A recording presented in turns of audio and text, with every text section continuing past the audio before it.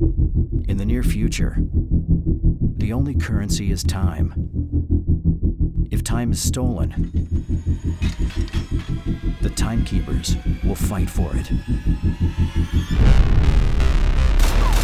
People talk about running for your life. Shoot on sight. In this movie, it's actually literally the case. Time has replaced money as the currency of humankind. Everybody's body clock switches off at 25. To survive, you have to trade on time. I play a character called Timekeeper Raymond Leon. He is the cop who enforces this system. He's in the worst civil service job he could possibly have.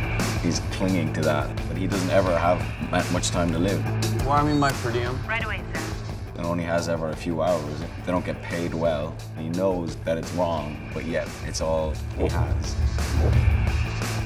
He encounters this character, Will.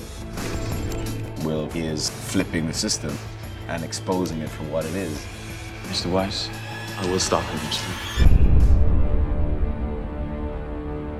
I'm sorry to have to break up the party. I just need a word with your friend.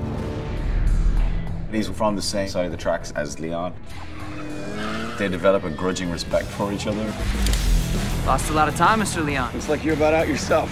He's decided to take this path in his life. And all the misgivings and issues he would have had with the system, he's tried to leave them behind.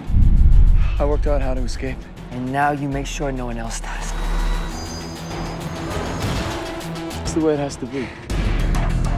But Leon clings desperately to the system What was that? And pursues his goal of keeping time.